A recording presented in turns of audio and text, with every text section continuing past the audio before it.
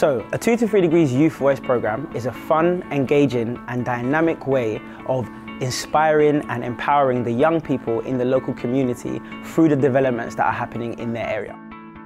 We're working on a project called Cardinal Place, which is right outside our office, and it's a bit of public realm work where we're trying to improve the area from where it's quite cold at the minute. And we really wanted to get the guys involved today to really understand what the local community, particularly the young people, really want from this space, so we can make sure we can include that in our design and deliver what the community really wants. So when designing Cardinal Place, we've taken the young people's feedback through uh, in a number of ways.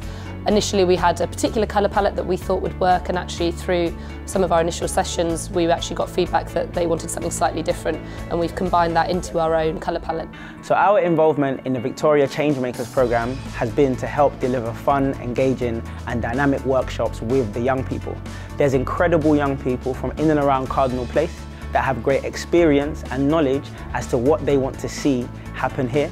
And so we've been helping Landsec and BD Architects develop content that best inspire these young people and most importantly ensures that we have their opinions heard. Connecting communities is really, really important to us and many of the young people involved in this project today are people who live here in this local area and this is our home, this is our community so it's only right that they have a say in exactly what it is that we're trying to do and shape and involve how they're going to live, how they're going to play.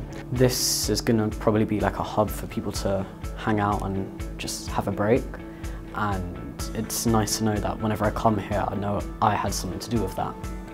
I have found it definitely worth my time. I'm so glad that I was able to take part and I have learned a lot about what it takes to um, network with other people and be also proactive in making connections and making the most of the opportunities that are available to us young people. What I've learned from working with young people, particularly on this project, um, is that they've got actually some really thoughtful and interesting ideas. It's not just we want this crazy fun thing. Actually, when we were looking at some of the proposals they put forward and in our later sessions when they took on roles uh, of different disciplines, they were actually able to really understand maybe some of the problems or kind of realities those. So actually giving them credit, they've got a lot more going on than we maybe would think just in terms of that initial feedback.